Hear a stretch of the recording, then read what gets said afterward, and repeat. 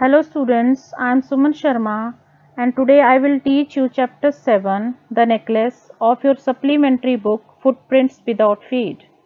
Students, first of all, let me give you a brief introduction of the story. Actually, this story is about a highly ambitious a middle class woman named Matilda Lossell. One day she gets an invitation to a grand party और उसके लिए वो अपनी एक friend से diamond का necklace लेती है, लेकिन अनफॉर्चुनेटली वो इस नेकलेस को गुमा देती है। उसके बाद उसकी लाइफ में एक टर्निंग पॉइंट आता है और उसके बाद क्या होता है वो हम स्टोरी पढ़ के पता लगाएँगे। So student with this small introduction let's begin the chapter she was she was one of those pretty young ladies born as if through an error of destiny. She कौन है? मटिल्डा है। Matilda LaSalle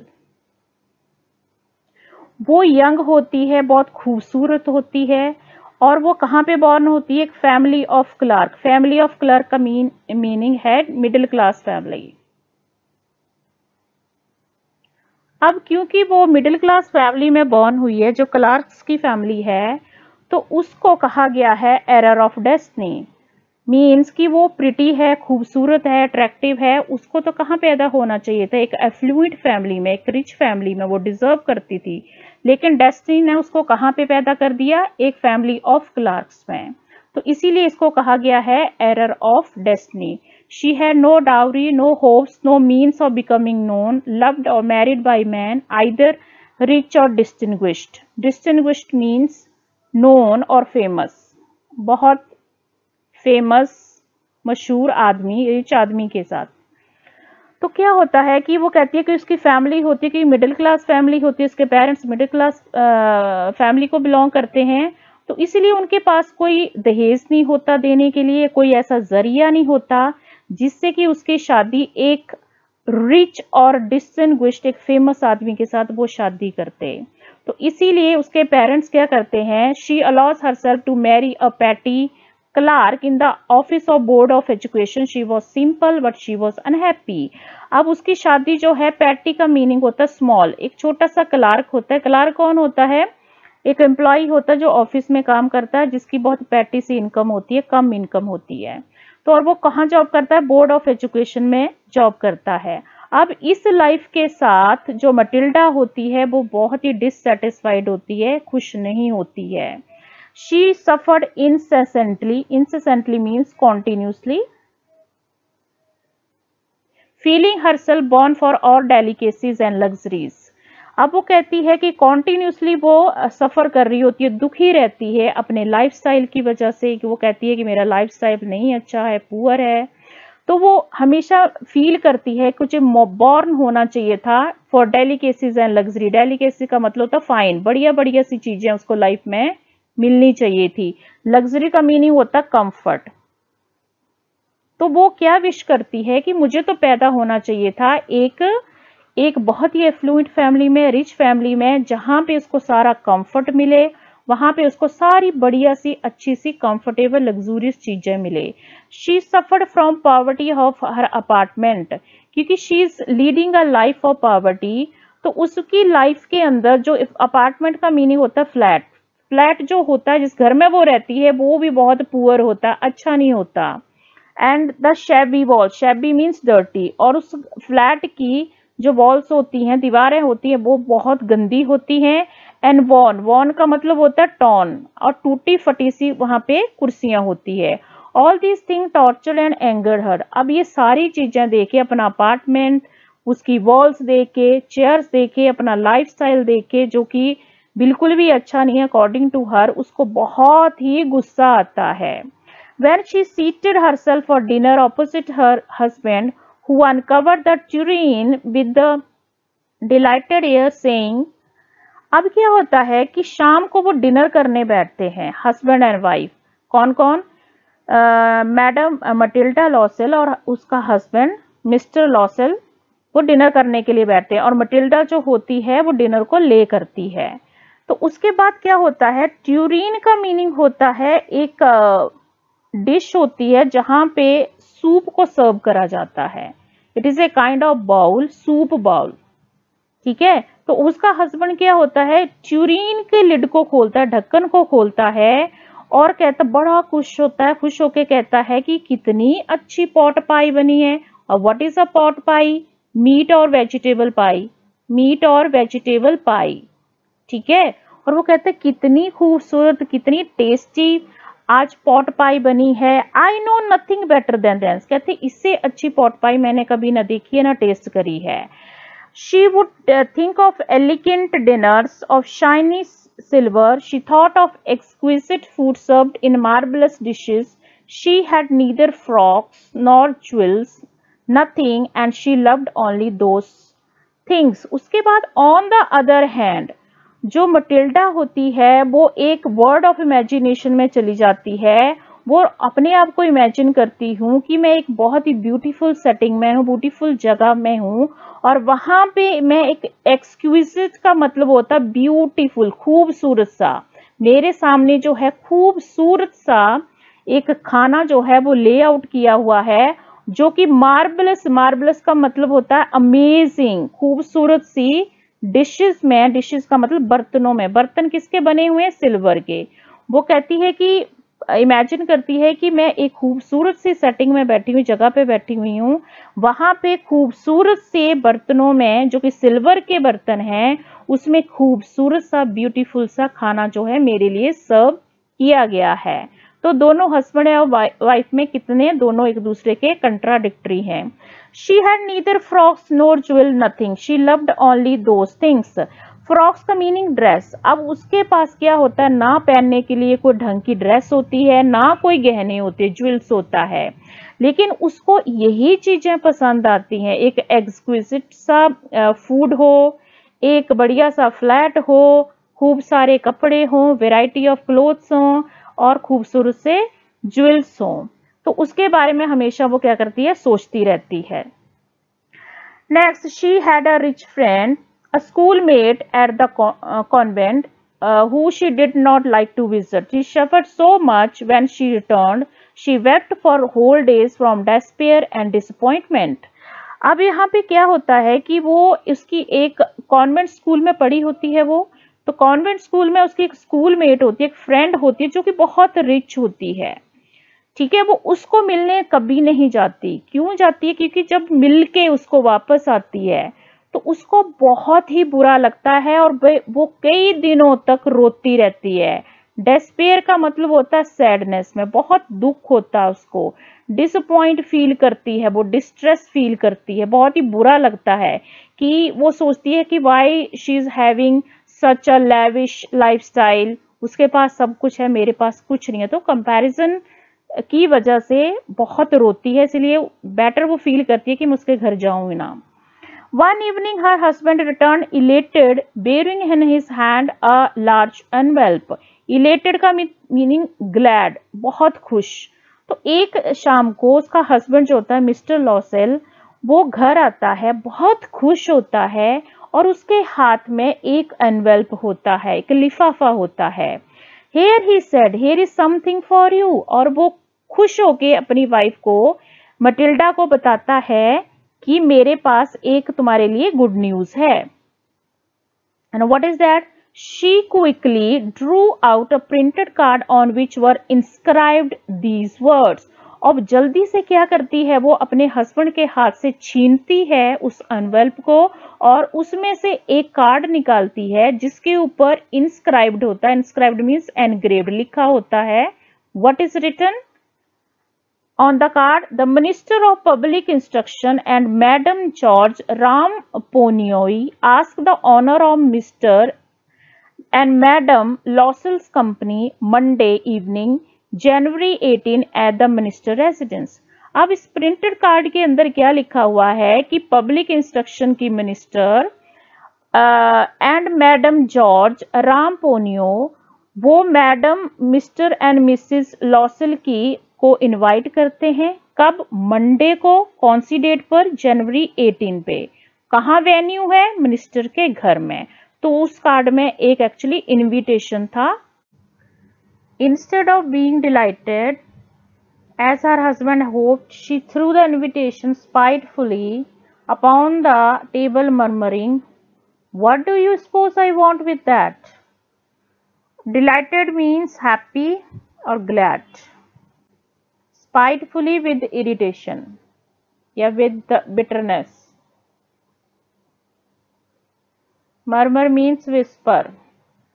धीरे से बोलना instead been rated as her husband husband ने उसके सोचा था कि ये कार्ड देके बहुत खुश हो जाएगी मटिल्डा बट हुआ इससे उल्टा है उसने क्या किया कार्ड लिया और उसको फेंक दिया स्पाइटफुली मतलब बहुत गुस्से में ठीक है अपॉन द टेबल टेबल के ऊपर फेंक दिया और विस्पर किया, धीरे से बोला, मैं इस कार्ड का क्या करूँगी? मैं कैसे जा सकती हूँ उस पार्टी में? But my dear I thought it would make you happy you never go out this is occasion a fine one fine means good अब वो कहती है कि मैंने सोचा, उसका हस्बैंड कहता है कि मैंने सोचा तुम तो बहुत खुश हो जाओगे कार्ड देख के, क्योंकि तुम घर में रहती हो, बाहर कम निकलती हो? और ये बहुत अच्छा क्वेश्चन मौका है जिससे कि हम दोनों बाहर जाएँगे और अच्छे लोगों को मिलेंगे। Everybody wishes one and it is very select not many are given to employees you will see the whole official world there अब वो मिस्टर लॉसल कहता है कि सभी मेरे uh, जो ऑफ़िस में जितने भी एम्प्लॉयज़ थे को वर्कर थे वो सारे विश कर रहे थे कि हमें ये कार्ड मिले। लेकिन कार्ड कुछ सिलेक्टेड वंस को ही मिला है, कुछ को ही मिला है, थोड़े से एम्प्लॉयज़ को मिला है। तो अगर हमें मिला है तो we are very lucky and यहाँ पे पार्टी में जाने से हम बहुत सारे लोगों को ऑफिशियल्स को देखेंगे। She looked have him with with an irritated eye and declared impatiently what do you suppose I have to wear to such a thing as that? अब इरिटेटेड का मीनिंग होता है एंग्री एंड इम्पेशेंटली होता है एंगली गुस्से में। अब madam Matilda अपने हस्बैंड की तरफ़ गुस्से में देखती है और बहुत गुस्से में बोलती है कि मैं इस पार्टी में जाने के लिए पहनूँगी क्या? क्योंकि मेरे पास तो पहनने के लिए कोई ड्रेस ही नहीं है, कोई सूटेबल कोई अप्रोप्रिएट ड्रेस नहीं है, जो कि इस ग्रैंड पार्टी के लिए चाहिए। He had thought of that he stammer why the dress you wear when you go to the theatre stammer का मीनिंग होता है फंबल करना। जब कोई नर्वस हो जाता है तो घबरा के जब बोलता है फंबल तो मिस्टर लॉसल कहता है, मैंने तो इस बारे में सोचा नहीं है कि तुम्हारे पास ड्रेस ही नहीं है कोई पहनने के लिए। ही स्टैम्बर कहते हाँ वो जो ड्रेस तुम थिएटर में जाने के लिए पहनती है तो उसी को पहन लेना। And it seems very pretty to me ये बहुत ही खूबसूरत ड्रेस है, तुम्हारे ऊपर भी बहुत अच्छी लगती है। He was silent, stupefied in dismay at the sight of his wife weeping. He stammered, What is the matter? What is the matter? Stupefied means stunned, हैरान रह जाना, stunned. And dismay means shocked. अब उसका husband जो होता है वो पहले चुप होता है हैरान हो जाता है कि ये क्या बोल रही है इसके पास कोई ड्रेस ही नहीं है और उसके बाद वो आ, उसकी अपनी वाइफ को देखता है कि वो रो रही है रो, वो उसको रोते हुए नहीं देख पाता और उसको कहता है कि तुम रो क्यों रही है? हुआ क्या है? मुझे बताओ तो सही, क्या प्रॉब्लम है? By violent violent effort she has controlled her vexation and responded in a calm voice wiping her moist cheeks nothing I have no dress consequently I can't go to affair give your car to your colleague whose wife is better fitter out than I अब वो violent का होता strongly बड़ी मुश्किल से अपने emotions को madam tilde control करती है। वैक्सेशन का मीनिंग क्या होता है?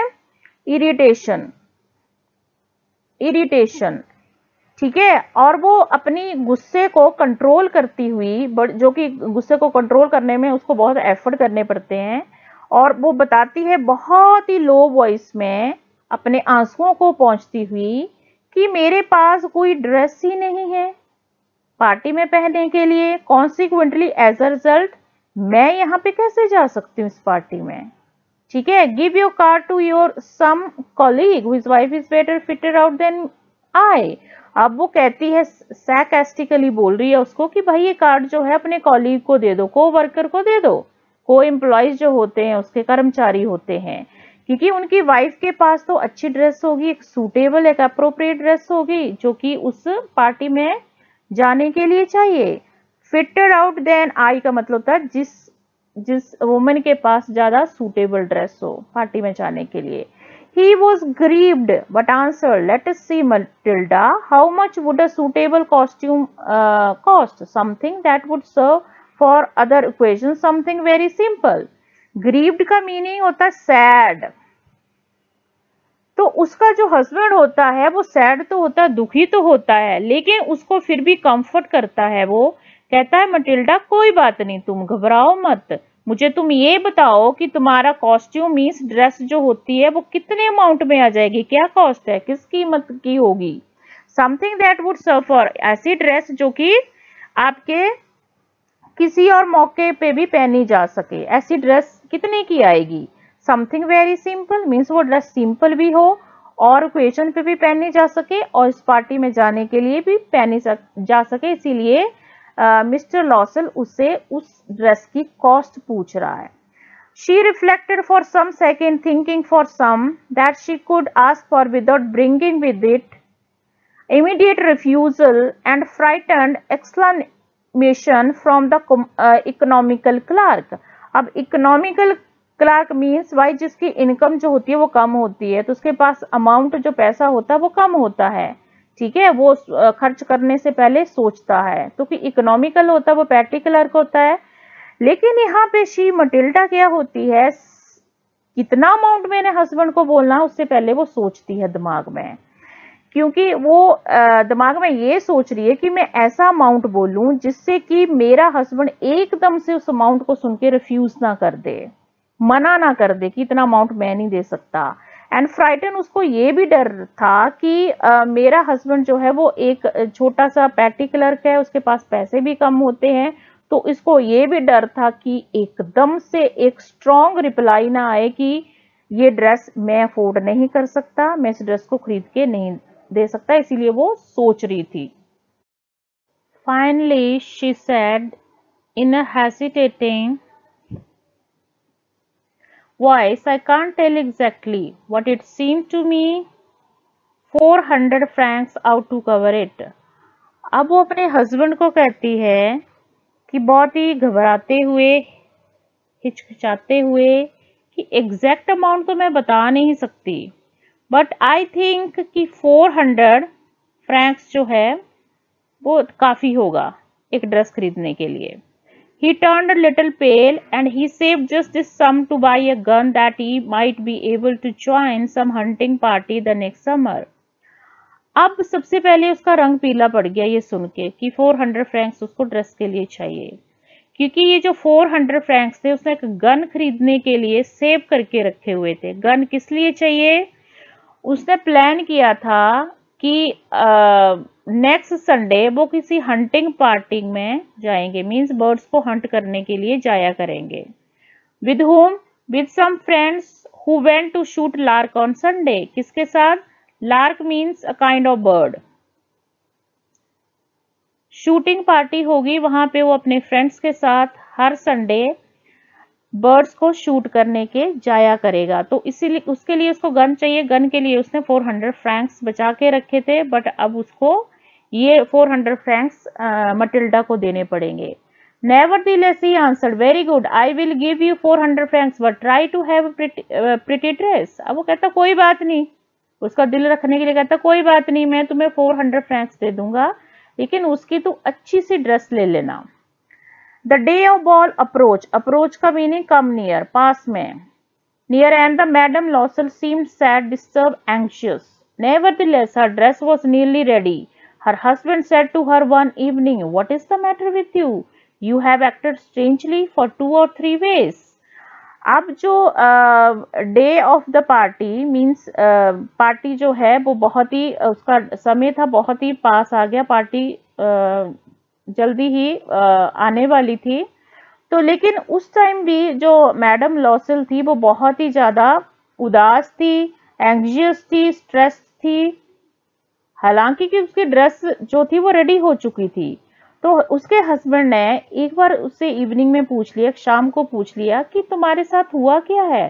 तुम इतनी उदास क्यों है? तुम दो तीन दिनों से एक अजीब से तरह से बिहेव कर रही है। क्यों? And she responded I am vex not to have a jewel nothing to adorn myself with. I shall uh, have such a poverty stricken look. I would not prefer, I would not prefer uh, not to go to this party. तो अब वो reply करती है जब उसके हस ने पूछा कि तू इतनी उदास क्यों है तो उसने वैक्स का मीनिंग होता है वरिड आप उसको क्या चिंता लगी हुई है कि वो कहती है कि मेरे पास तो कोई ज्वेलरी नहीं है, कोई गहने नहीं है ज्वेलरी नहीं है, जिससे कि अडॉन का मतलब होता है वो अपने आप को सजा सके डेकोरेट कर सके। ठीक है? वो कहती है, अगर मैं बिना ज्वेलरी के जाऊँगी तो मैं बहुत ही, मेरी जो लुक है बहुत बुरी लगेगी पॉवर्टी सिक मतलब पुअर लुकिंग लगूँगी मैं, एक नॉर्मल सी वुमेन लगूँगी। ठीक है? I would prefer not to तो इससे तो अच्छा है कि मैं पार्टी में ना जाऊँ। उसका मतलब ये था कहने का, अगर मैंने ड्रेस बनवा ली तो उसके साथ मुझे ज्वेलरी भी मैचिंग चाहिए। He replied you can wear some natural flower in this season they look very chic chic me stylish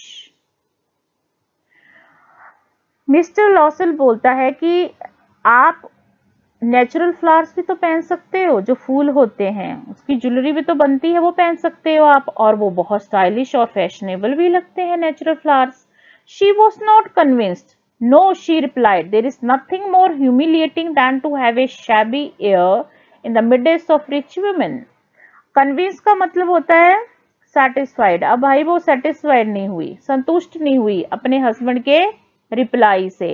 humiliating का मतलब होता है इंसल्टिंग बेजती हो जाना, ठीक है?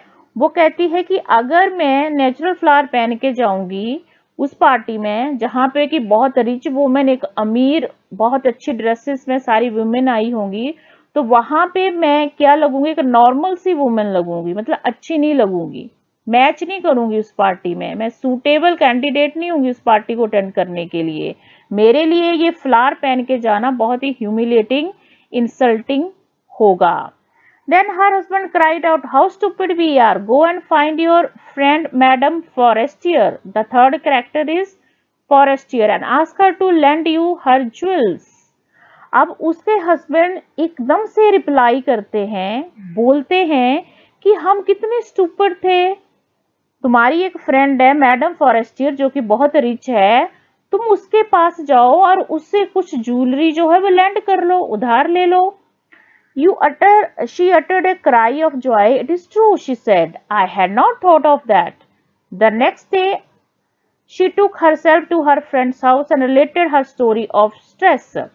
अब वो इतनी एक्साइटमेंट में उसने ज़ोर से चीखी वो एक्साइटमेंट में कहती हाँ तुम सही कह रहे हो मैंने तो इसके बारे में सोचा नहीं है ये आपका आइडिया तो बहुत ही अच्छा है तो नेक्स्ट डे अगले ही दिन वो क्या करती है अपने फ्रेंड फॉरेस्ट ईयर के घर चली जाती है और डिस्ट्रेस का मतलब होता है पेन अपनी दुख भरी कहानी सुनाती है उसको।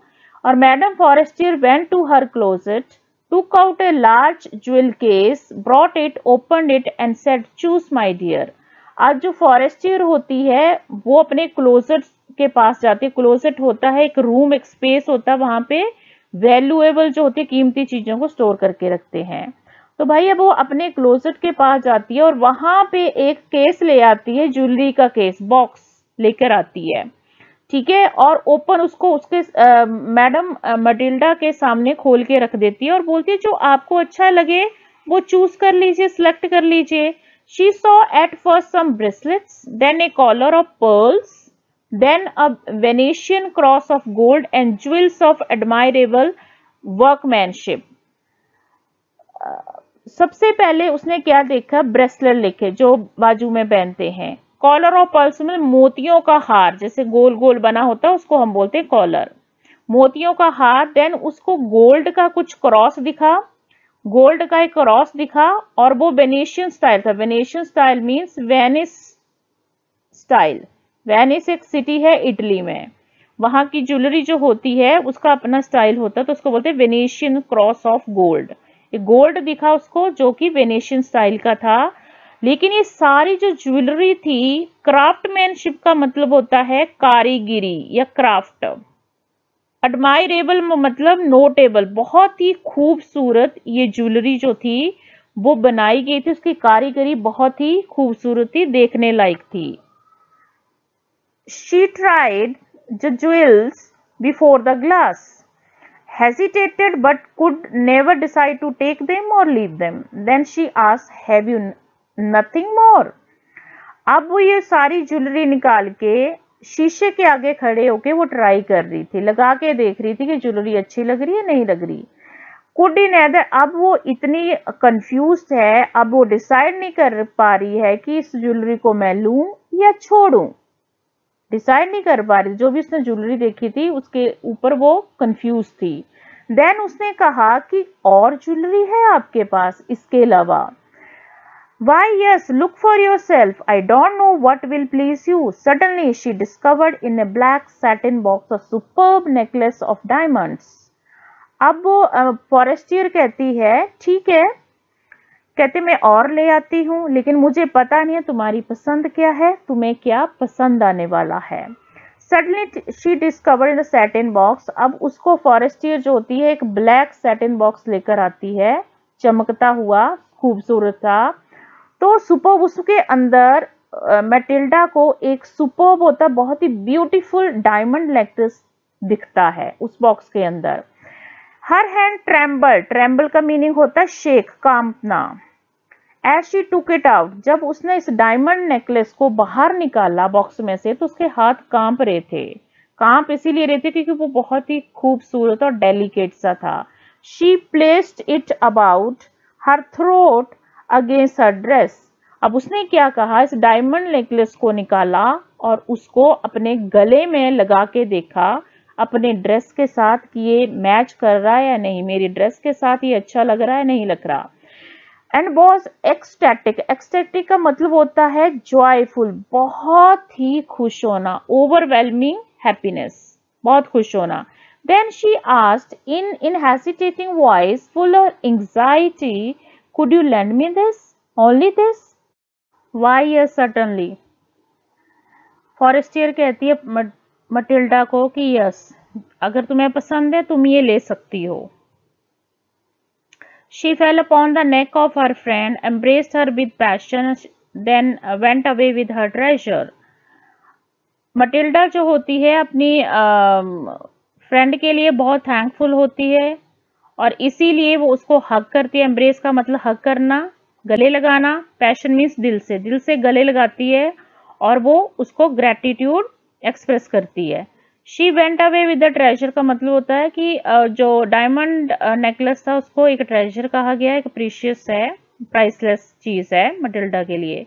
Day of the ball arrived madam Loisel was a great success she was the prettiest of or elegant gracious smiling and full of joy अब जो पार्टी का दिन था, वो आ चुका था और ये पार्टी जो थी, वो मैडम लॉसल के लिए बहुत ही बड़ी सक्सेस थी। क्यों सक्सेस थी? क्योंकि वो सबसे ज़्यादा खूबसूरत लग रही थी। एलिगेंट का मतलब तो ब्यूटीफुल लग रही थी ग्रेशियस स्टाइलिश लग रही थी बहुत खुश थी स्माइल कर रही थी। एंड सारे मैन उसको नोटिस कर रहे थे उसकी तरफ़ देख रहे थे उसका नाम पूछ रहे थे और उसको मिलने के लिए भी कह रहे थे। प्रेजेंटेड का मतलब to meet she dance with enthusiasm, intoxicated with pleasure, thinking of nothing but all this admiration, this victory so complete and sweet to her heart अब वो पूरे एंथुजियाजम मीन स्पिरिट पूरे जोश के साथ वो डांस कर रही थी और खुशी के मारे बहुत ही एक्साइटेड थी। इंटॉक्सिकेटेड का मतलब एक्साइटेड थिंकिंग और किसी के बारे में वो नहीं सोच रही जस्ट अपना इंजॉय कर रही थी और एडमिरेशन को एक्सेप्ट कर रही थी। जो भी एडमिरेशन का मतलब प्रेस उसको एक्सेप्ट कर रही थी। तो ये जो पार्टी थी वो उसके लिए एक बहुत बड़ी विक्ट्री थी। और उसको ये यहाँ पे बहुत ही अच्छा लग रहा था। To about four o'clock in the morning her husband had been half sleep in one of the little salons since midnight अब वो पार्टी थी वो सुबह के चार बजे तक चली। तो सुबह के चार बजे तक वो पार्टी करते उसके बाद घर गए। लेकिन उसका हस्बैंड उस टाइम एक सलून होता है रूम में। रूम में जाके सो रहा था। ठीक है? और वहाँ पे तीन और भी जेंटलमैन थे जबकि उनकी वाइफ जो थी वो वहाँ पे एंजॉय कर रही थी पार्टी को। थ्री जेंटलमैन थे वो रेस्ट कर रहे थे। He threw around her shoulder the modest wraps they had carried, whose poverty clashed with the elegance of the ball costume. अब मटिल्डा के हस्बैंड ने उसके शोल्डर के ऊपर एक रैप डाला। रैप एक कपड़ा सा होता है श्रग लाइक स्ट्रक्चर होता है लेकिन वो बहुत मॉडेस्ट था। मॉडेस्ट का मतलब होता है चीप सस्ता सा कपड़ा था। उसे उसके शोल्डर को कवर कर दिया। They had carried poverty clashed with the elegance of the ball costume जो उसका बॉल कॉस्ट्यूम था ड्रेस थी वो तो बहुत एलिगेंट थी बहुत खूबसूरत थी। तो उसके सामने जो रैप था वो उसकी पॉवर्टी को शो कर रहा था ठीक है? तो वो एक, एक मैच नहीं था कि मिस मैच आ रहा था रैप और बॉल कॉस्ट्यूम के बीच में।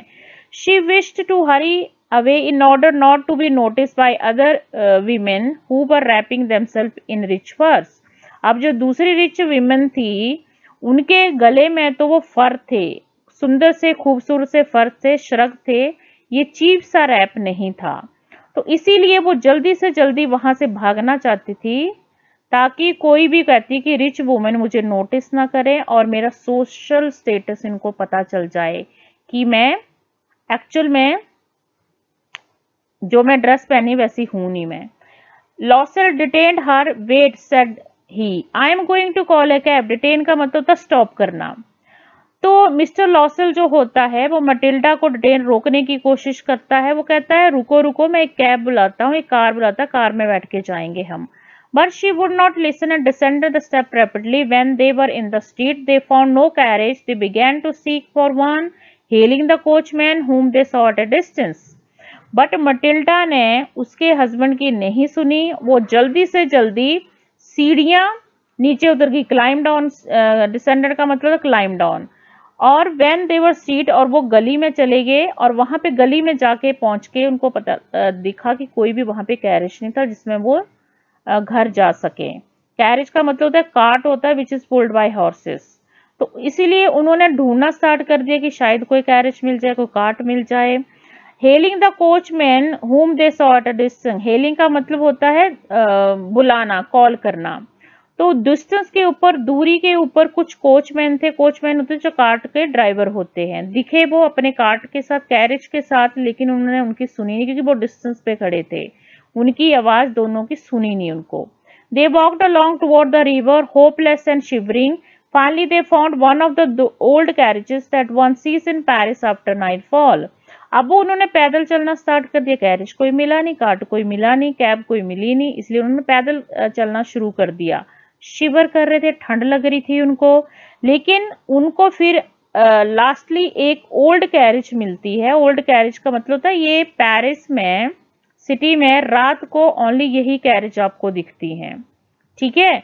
तो उन्होंने वो कैरेज ले ली। It took them as far as their door and they went wearily up to their apartment it was all over for her on his part he remember that he would have to at the office by ten o'clock अब वो अपने जो carriage था, उसने उनको अपने घर में पहुँचा दिया। वेरेली का मतलब होता है टायर्ड लेकिन वो थके हुए बहुत थे वहाँ पे। ठीक है? They were all over for her means अभी भी जो मटिल्डा uh, थी वो अभी भी इस पार्टी के बारे में सोच रही थी।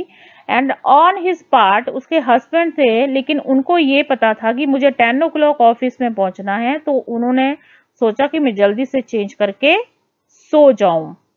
She removed wrap from her shoulders before the glass for a final view herself in her glory suddenly she utter a cry her necklace was not around her neck तो उसने मिरर के सामने खड़ी होगी वो शीशे के आगे और अपना जो रैप था उसको उतारा।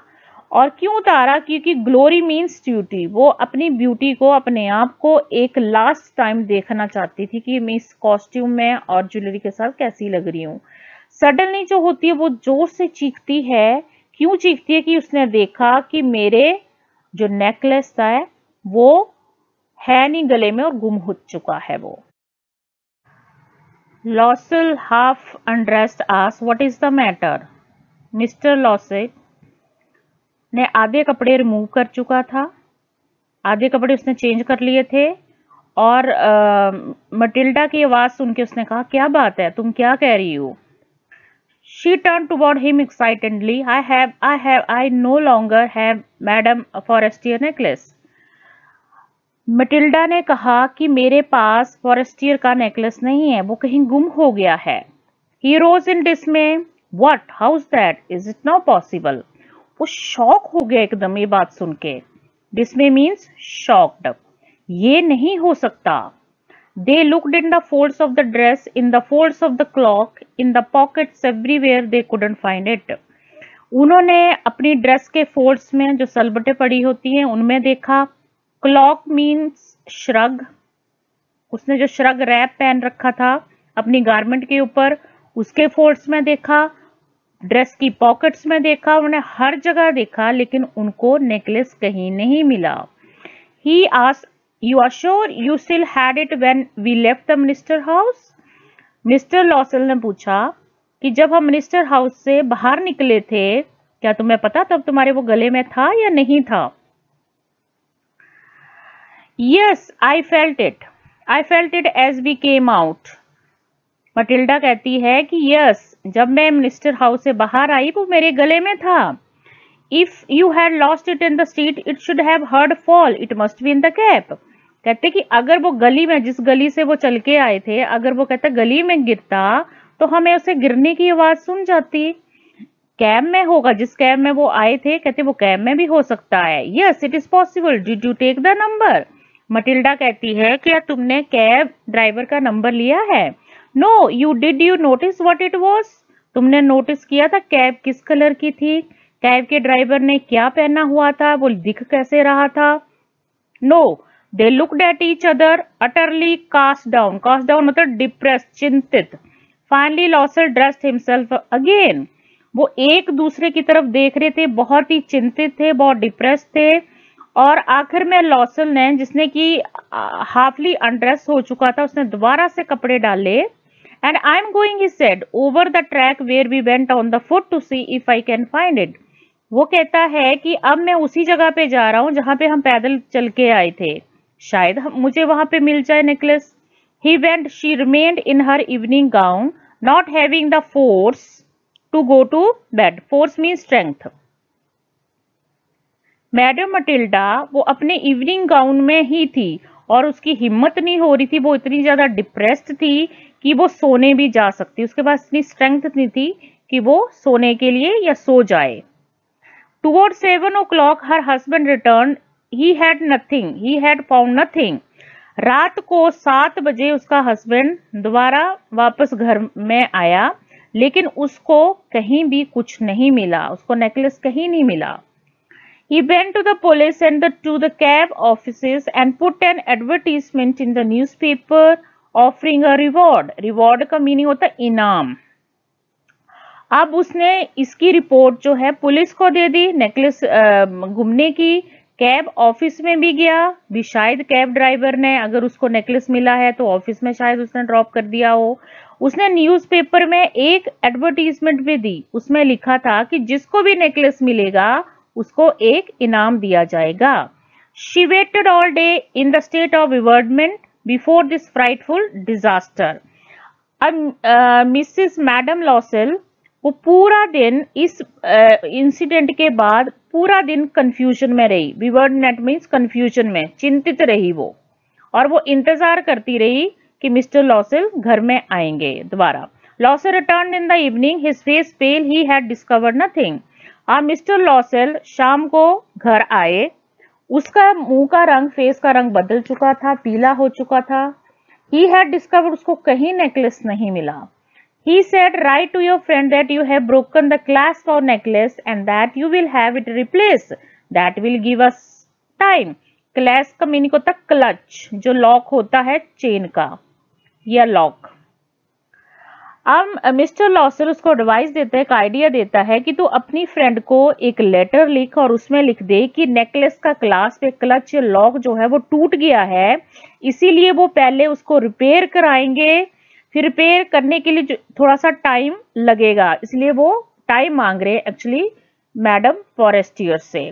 ताकि वो उसको क्या कर सके फाइंड आउट करे या कोई उसका रिप्लेसमेंट ढूंढ सके। He said write to your friend Okay. She wrote as he dictated.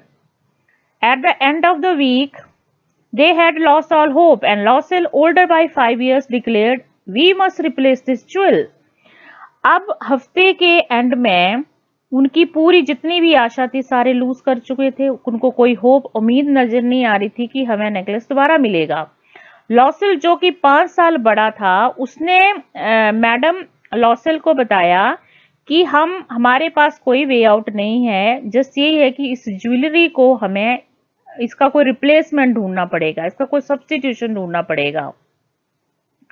In the shop of Palais Royal they found a chaplet of diamonds which seemed to have exactly like one they had lost.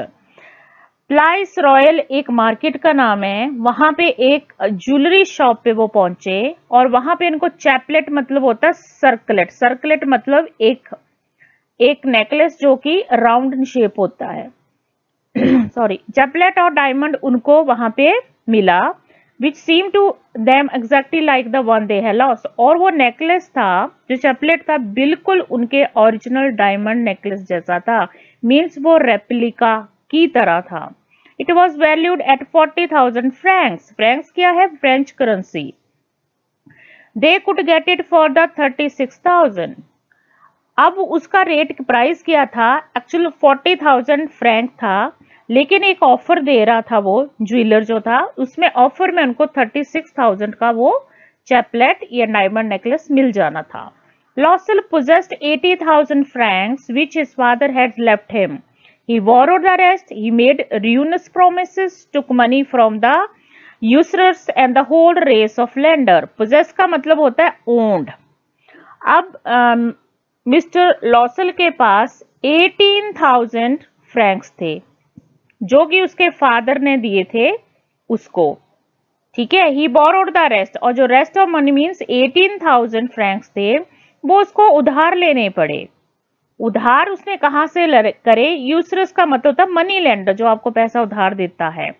या और बहुत सारे lender से उन्होंने पैसा दिया, लिया, और उनको प्रॉमिस किया, हम इस पैसे को री पे बैक कर देंगे जल्दी Then he went to get the new necklace, depositing on the merchant counter 36,000 francs.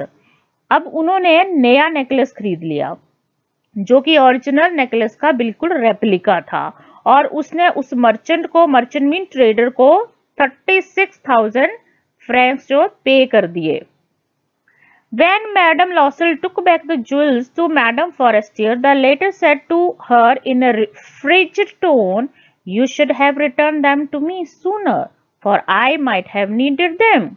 अब मैडम लॉसल जो थी वो उस ज्वेल को ज्वेलरी पीस को मैडम फॉरेस्टियर को रिटर्न करने गई तो मैडम फॉरेस्टियर ने कहा बहुत ही फ्रिजिड का मतलब होता है रूड रूडली उसको कहा कि तुमने इतना लेट क्यों रिटर्न किया ये?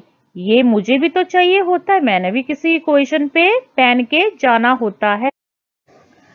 Madame Forestier did not open the jewel box as Madame Loisel fear she would what would she think if she should perceive the what should she say would she take her for a robber अब madam Loisel को डर लग रहा था कि अगर madam Forestier ने ये ज्वेलरी बॉक्स खोल के देख लिया, अगर उसको पता चल गया कि ये एक सब्सटीट्यूशन है मीन्स एक रिप्लेसमेंट है, अगर उसने आइडेंटिफाई कर लिया, पहचान लिया कि सब्सटीट्यूशन है ओरिजिनल नेकलेस नहीं है तो वो मुझे एक रॉबर कहेगी, एक चोर कहेगी कि तूने मेरा नेकलेस जो है वो चोरी कर लिया है।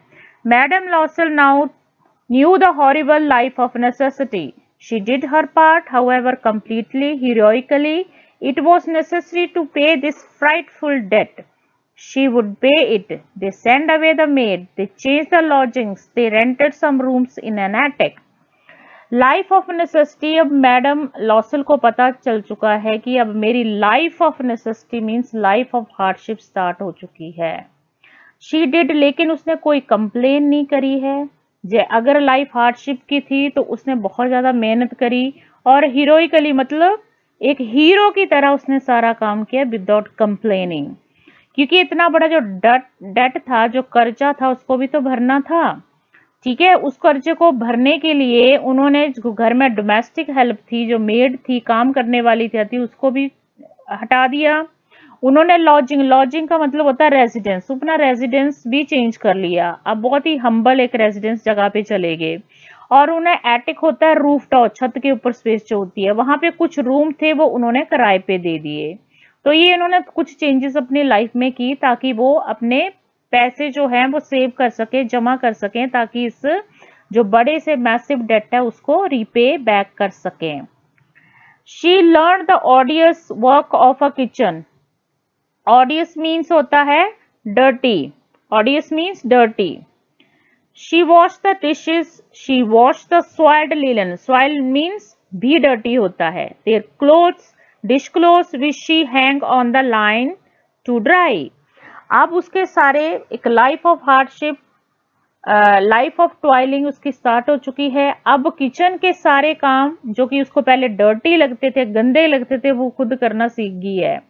अब वो सारे कपड़े भी धोती है, सारे गंदे कपड़े भी धोती है, ठीक है? और इन कपड़ों को धोने के बाद वो लाइन में हैंग भी करती है ड्राई करने के लिए। She took down the refuse to the street each morning and brought up the water stopping at each landing to catch her breath and clothed like a woman of people. अब वो हर सुबह क्या करती थी? रिफ्यूज मीन्स गार्बेज जो garbage होता है, उसको खुद छोड़ने स्ट्रीट में जाती थी, फेंकने जाती थी और आते हुए पानी भी लेके आती थी भर के और लैंडिंग का मीनिंग होता है स्टेयर्स सीढ़ियाँ और हर सीढ़ी के ऊपर वो रुकती थी ताकि वो सांस ले सकें, क्योंकि वो बहुत ज़्यादा थक जाती थी सारे काम करके। Clothed like a woman of people आम सी औरत दिखती थी अब वो। क्लोथ मतलब कपड़े जो पहनती थी, एक नॉर्मल वुमेन की तरह पहनती थी। She went to the grocers butchers and the fruiterers with her basket on her arm shopping haggling to last sou of her miserable money अब आगे क्या करती थी, वो ग्रोसर के शॉप पे जाती ग्रोसरी लेती थी, दालें खरीदती थी बुच्चर के शॉप पे मीट खरीदने जाती थी, खुद फ्रूट की शॉप पे फ्रूट खरीदने जाती थी और उसके हाथ में एक बास्केट होती थी, जिसमें ये सारा कुछ भर के घर लेकर जाती थी। और वो लास्ट सो क्या होता है, ये एक ओल्ड फ्रेंच करेंसी होती है, जिसकी वैल्यू बहुत कम होती है। और हैगलिंग मीन्स बार्गेन करना नेगोशिएट तोल मोल कराना।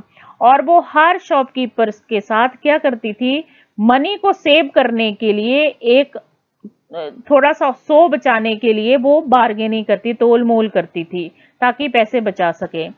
Husband worked evening putting the books of some merchants in order and nights he often did copying at five sous a page and this life lasted for ten year at the end of ten year they had restored all अब उसके husband भी मेहनत बहुत कर रहे थे।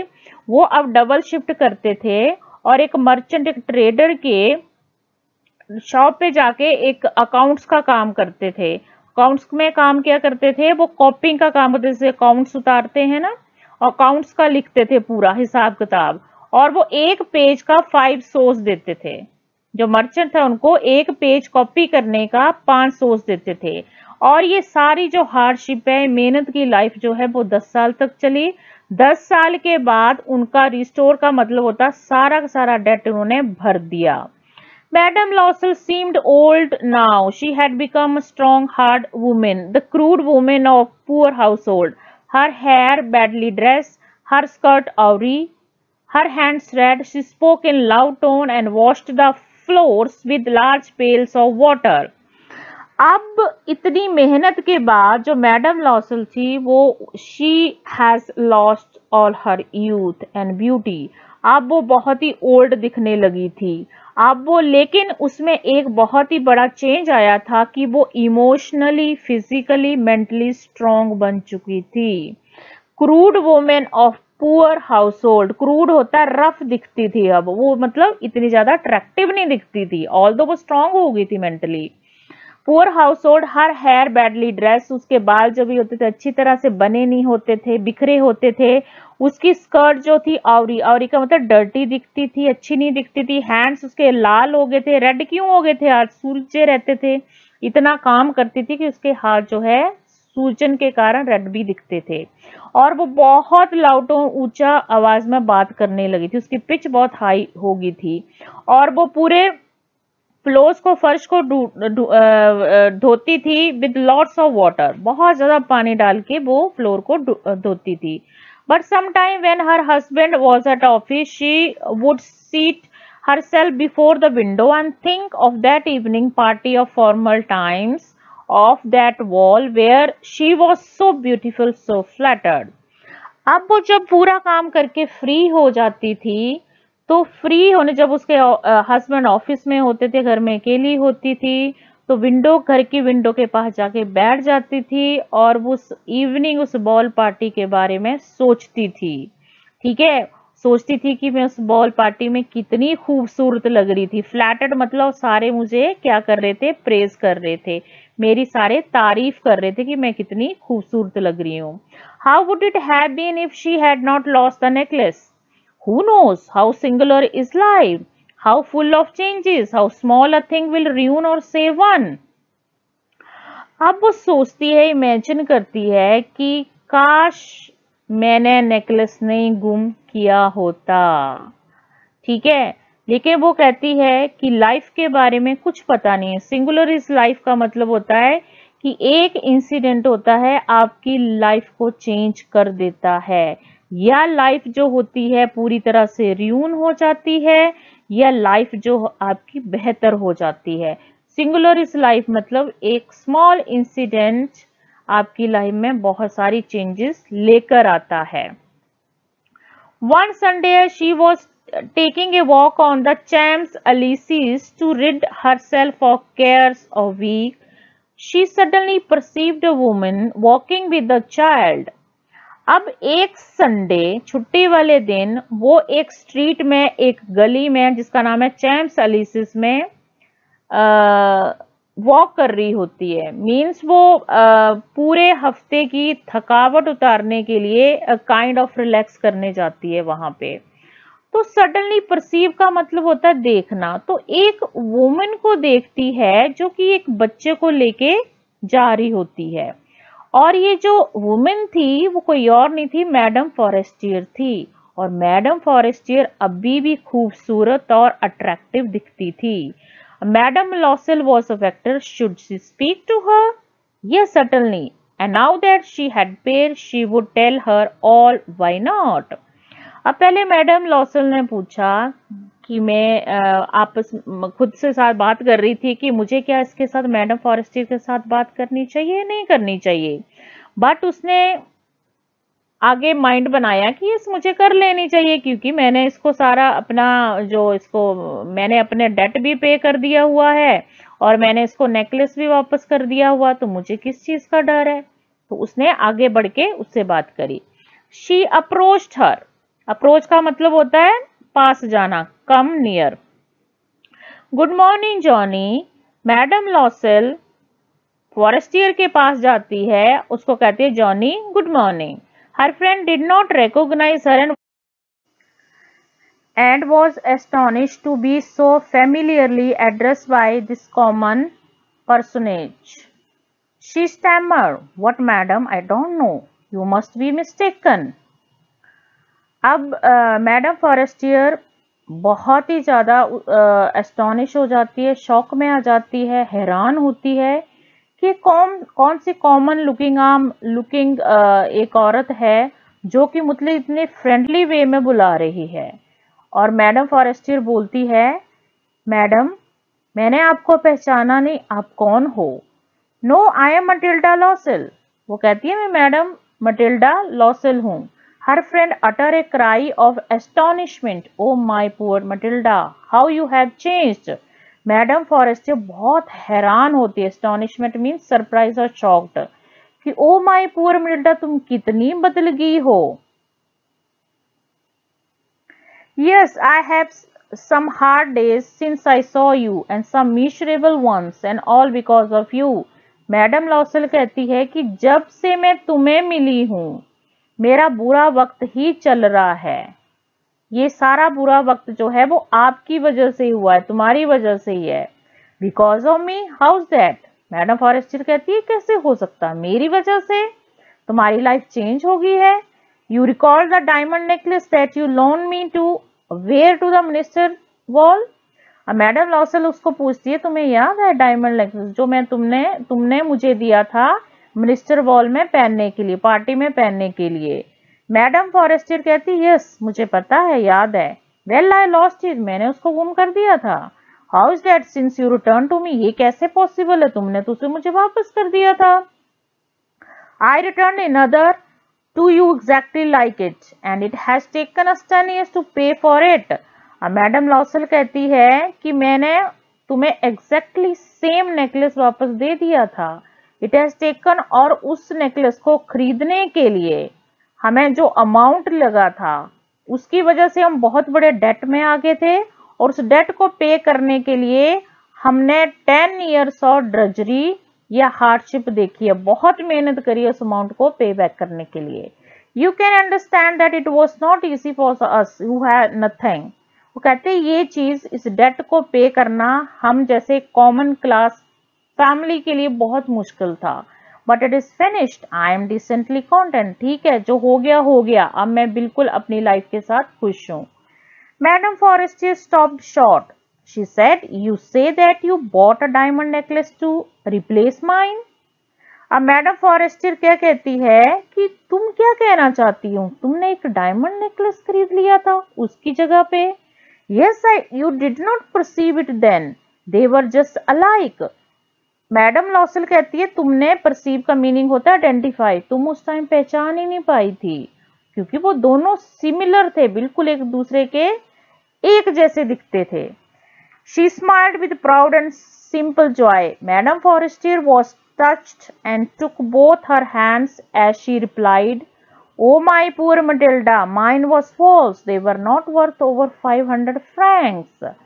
अब जो मैडम फॉरेस्टियर है, वो ये बात सुन के बहुत इमोशनल हो जाती है और उसके हाथों को अपने हाथ में लेती है और कहती है, ओ माई पुअर मटिल्डा, मेरा जो नेकलेस था वो नकली था, वो जस्ट 500 फ्रैंक्स का था। स्टूडेंट्स, यहाँ पे हमारा ये पूरा लेसन खत्म होता है। मैं एक और वीडियो लेके आऊँगी। जहाँ पे I will discuss important question as well as vocabulary of the same chapter I hope आपको ये चैप्टर समझ आ गया होगा and thank you for watching